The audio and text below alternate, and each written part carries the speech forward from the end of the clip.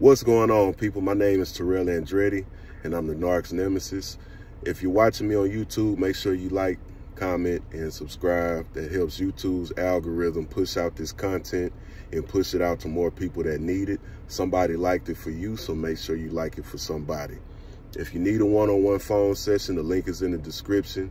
If you want to donate to the channel, the link is also in the description my new song Maniac. Y'all make sure y'all go check it out.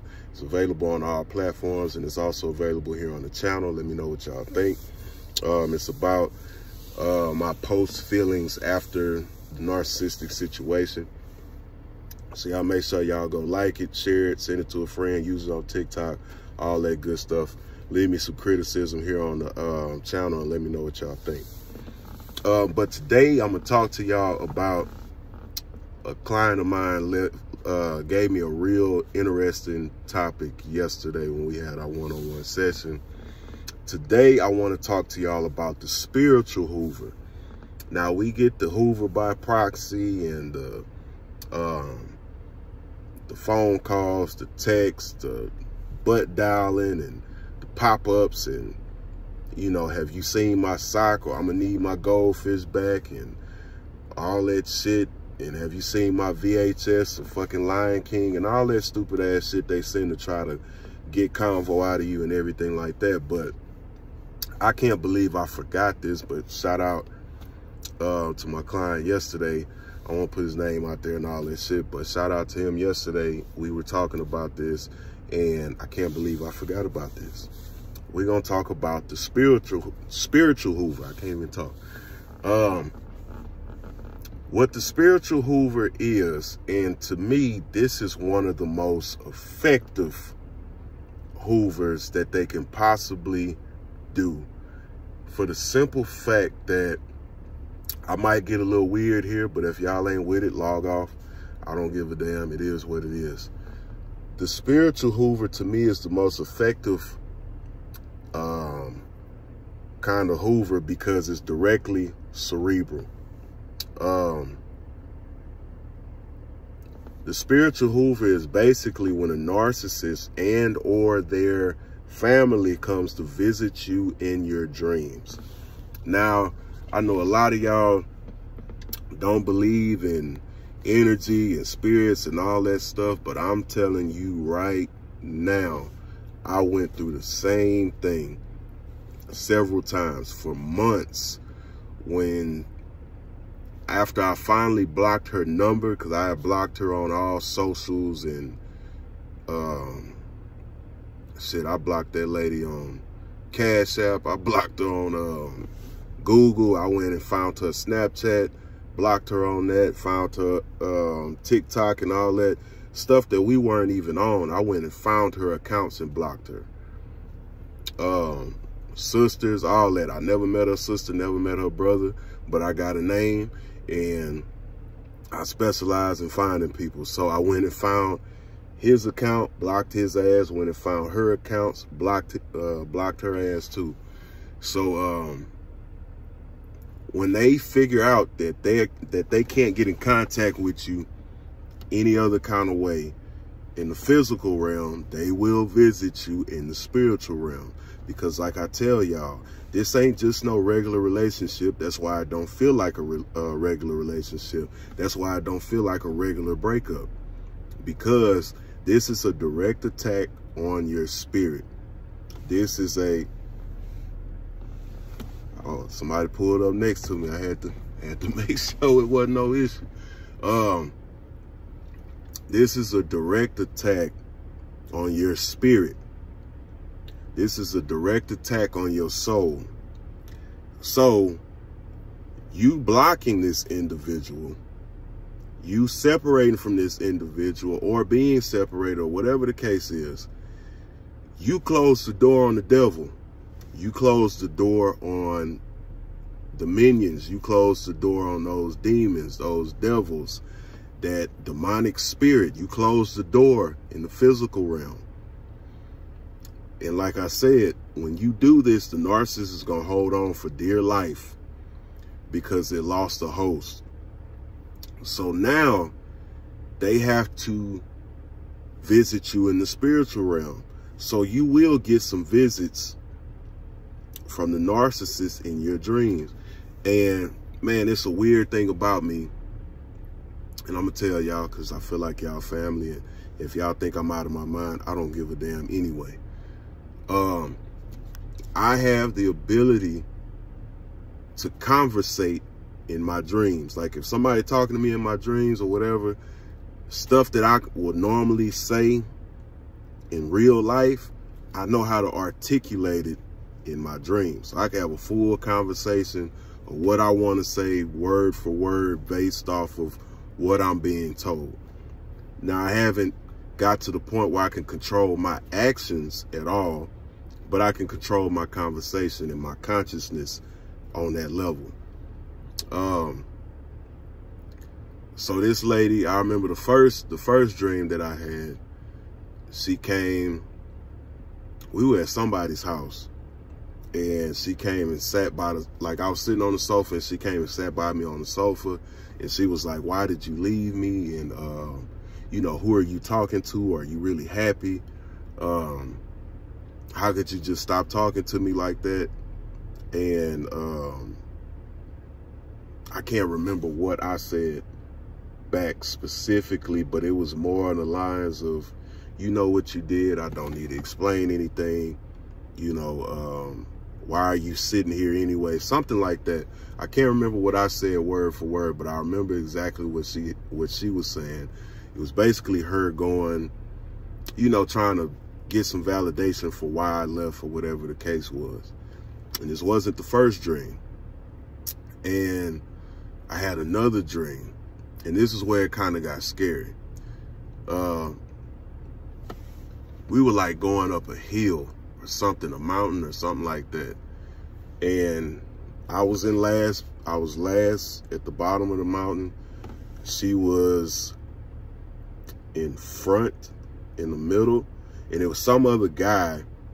I guess it was some guy that she was interested in or whatever the case is. I couldn't really see his face like that.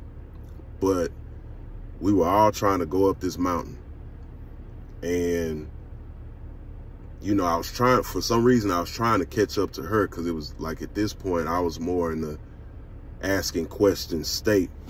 And I remember I was asking questions when, when her back was turned. We were going up a mountain or whatever, her back was turned to me. And I asked her, why did you do what you did? And her reply, I remember this word for word, I'll never forget it. And she said, nobody told you to trust me. I'll never forget that. And when she said that, like I said, she's walking up the mountain. I'm behind her. And at this point, I had caught up to her. After I asked this question, she gave me that answer. You know how you put your hand on somebody's shoulder from behind and you turn them around or whatever? And I did that. I put my hand on her shoulder and I turned her around. This where the shit got crazy. I didn't see her face, the physical face. I saw whatever spirit inhabited her. That's the face I seen. It was dark. It was distorted. The eyes were, were they black? The eyes were black.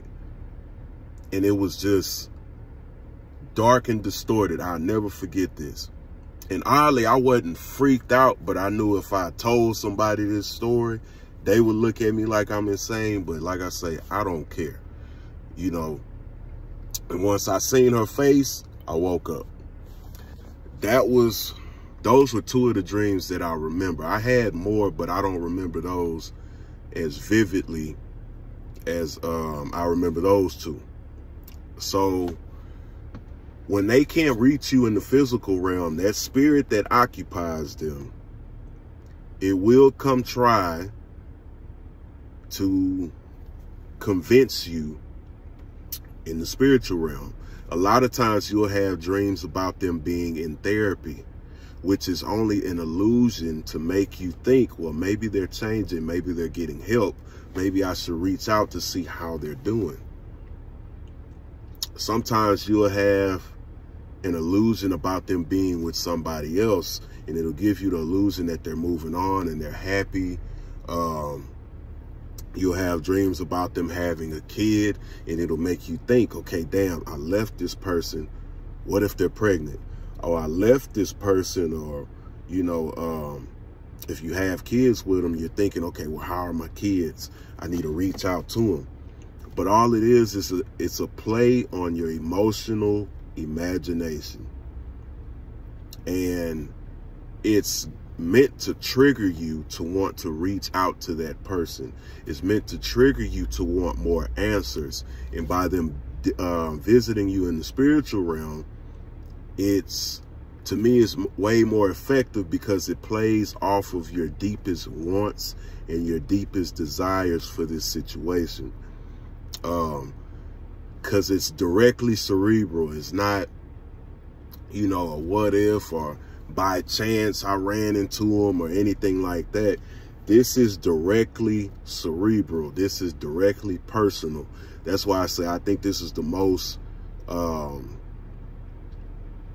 the most, um, I guess, dangerous or most effective Hoover that they can use because it it is coming to you direct. And then, you know, a lot of people will misinterpret, oh, well, if I'm dreaming about somebody, that means they can't stop thinking about me. And that could be the that could be the case. But what I'm saying is just because somebody can't stop thinking about you does not mean you need to go re-entertain them.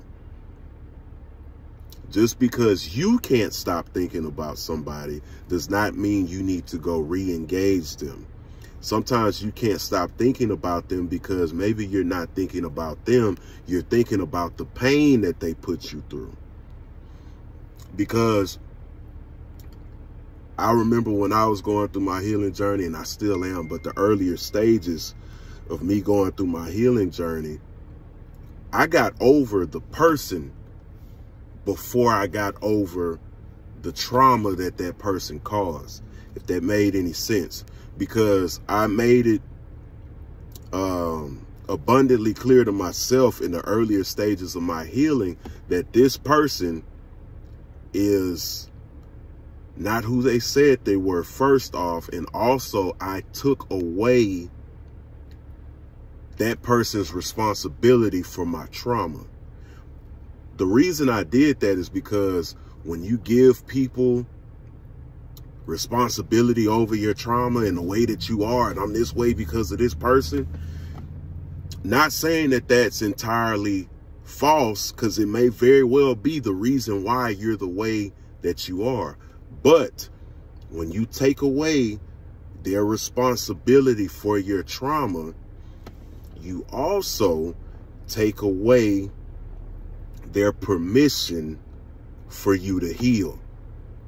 Because a lot of times when we give these people responsibility for our trauma and it's your fault and it, it may very well be their fault.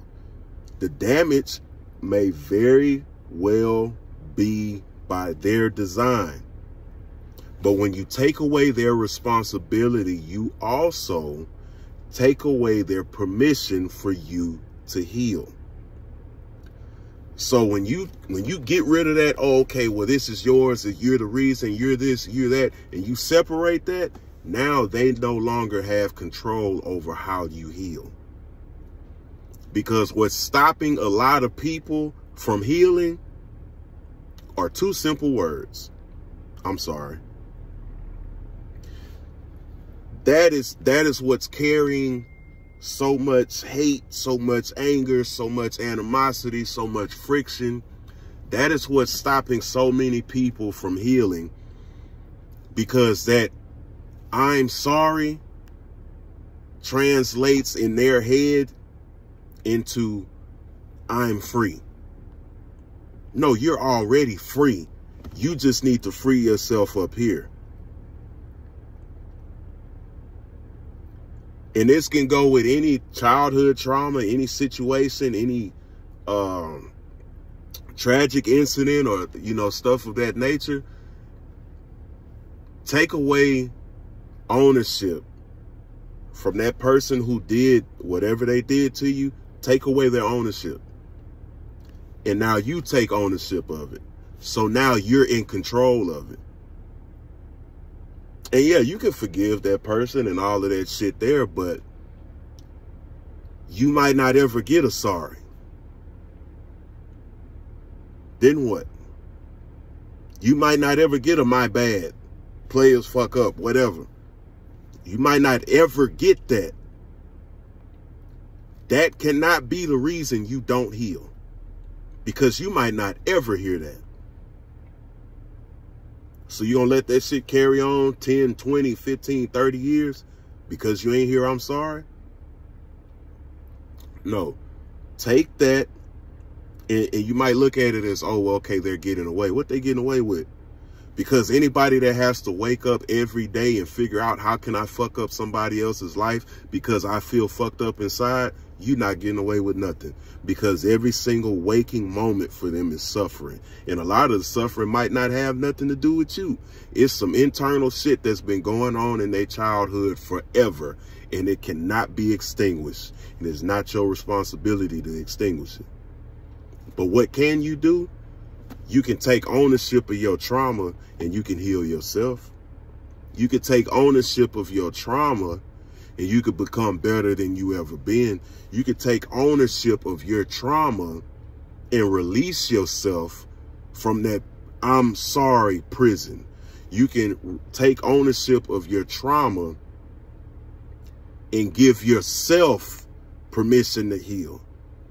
Because that's all you're doing when you or I got to wait on them to get it. I got to wait on them to understand. I got to wait on them to give me um, an explanation. All you're doing is giving them permission, giving them your permission to heal. And it don't belong to them. Because as long as you give them permission to heal, you will heal on their time. And if they had a say so, they, they would never let you heal. Because if they never let you heal, you'll always be in contact with them. You'll always be binded by them. You'll always be attached to them. You will always be spiritually chained to them. You will always be soul tied to them. Cut that soul tie, unlock those chains, and release yourself from their permission. And through this video, I grant you your permission back to heal. Through the name of God, I grant you your permission back to heal. Take it away from them and reclaim ownership of your life. Like, comment, subscribe. Um, you need a one-on-one. -on -one, the link is in the description. You want to donate to the channel, link is in the description. Check out my new song, Maniac. Link is in the description. It's about the post after effects of narcissistic abuse. Um, that's all I got, man, today. Um, another way. How this shit go? Look, I forgot my own damn uh, phrase because I'm sick. So I'm delirious a little bit. Another day, another way. And you ain't got to listen, but I know you heard me.